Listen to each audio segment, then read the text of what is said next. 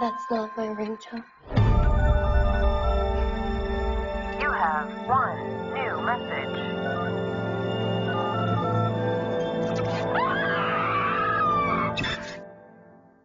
That's your voice. That's you. Dying.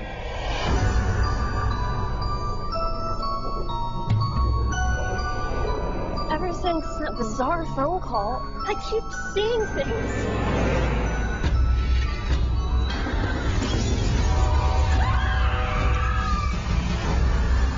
Leanne got a phone call, and so did Shelley, right before they died.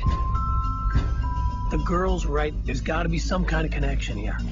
It's like you get a voicemail, Call came in two nights ago. you hear your death, They get in your head, man. and then you die. Look, these things work because they get in your head, man.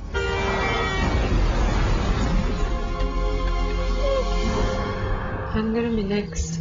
I'll keep you safe. Any dead people call. We're not home. This girl needs protection. Everybody seems to be linked together somehow. We could trace it back to the source and find out who started this.